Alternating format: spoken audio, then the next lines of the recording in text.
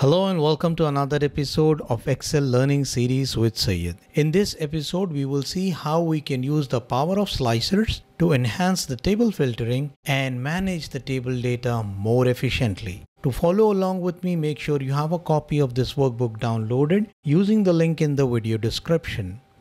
We have two worksheets on this workbook. See it is where I will demonstrate and do it is for you to practice. Let us begin. I have this huge data of around 10,000 employees. Now, if I want to filter away and see only certain parts of this data, say I want to see the people from the sales department who are full time and are from the southern region of Austria, I might have to apply several filters to see that data. Let me show you how.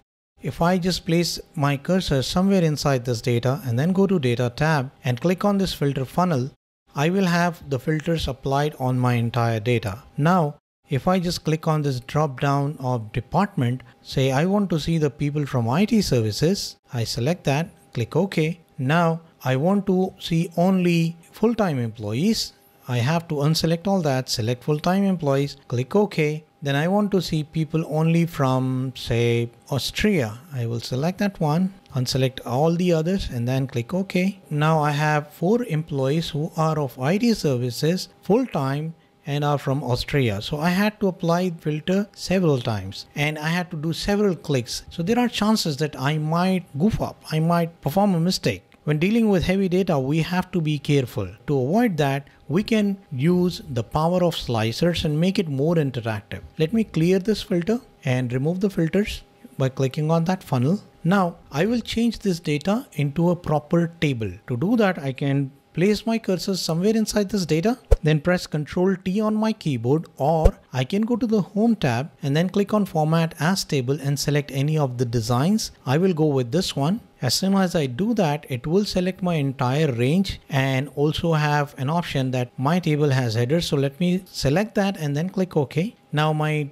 data is converted into proper table. Now with this one in hand, I can use slicers. On the top, you can see I have the table tools tab. If I just click outside, it's gone. If I click inside the table, it's back again. It's a dynamic tab. It will appear when you are inside this table. So while inside this table, I will go into that design tab and select insert slicer. When I do that, I have this insert slicers pop up with all the names of the columns. I can select any columns and make it a slicer. It will call the unique values from that column. So for example, if I say I want departments and country and staff type and then click OK. Now I have all these slicers. I can just place them somewhere on my screen nicely place them. Um, department, I'm not getting enough space, so I will just zoom out and then place my department here. Now, I will just click anywhere outside that slicer. Say I want to see people from Austria, I just click on that. I want to see full-time employees of Austria.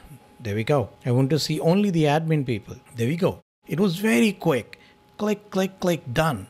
Now, if I want to get rid of some filters, for example, I just want to see the full-time employees who are admins and they can be from any country. So I'll just get rid of this filter by clicking on that clear filter button on the top right of the slicer block and the filter is cleared on this block. Similarly, I can get rid of the filter here and on the department as well. But there is a problem here.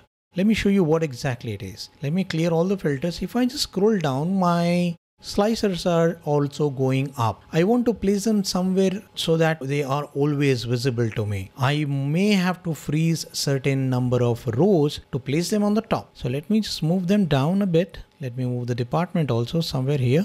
Let me go with 10 rows on the top, select all of that and then right click in the selection. Click insert, it will insert 10 rows on the top. I will place my department here but it's not fitting well. So I will change this to a two column layout. While I have that slicer selected, I will go into the options tab and change it to two columns. Now it seems to be working. Great. I will reduce the size and increase the height of this one a bit. I don't want the scroll bars. So I will just increase this one a bit more. Staff type seems to be fitting very well. Now I have countries. There are too many countries on my list. So I'll just expand it till here and scroll it, squeeze it, I mean, and then increase the number of columns here to three or four column. Now I have my countries in very manageable position. I will select this cell that is the first cell of my data. Then go into the view tab and select freeze panes and then select freeze top row.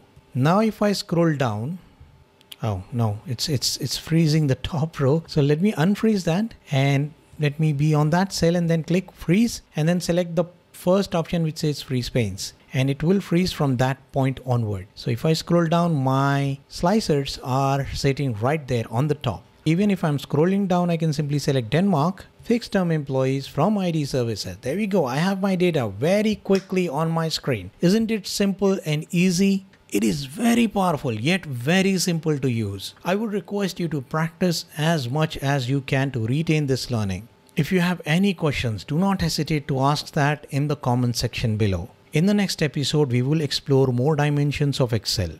If you haven't already, please click the subscribe button and click that little bell to receive notifications of new videos from my channel.